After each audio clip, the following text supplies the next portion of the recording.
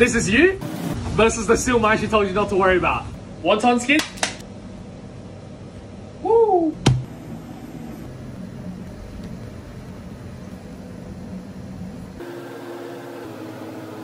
Now we have a giant siu mai wrapper.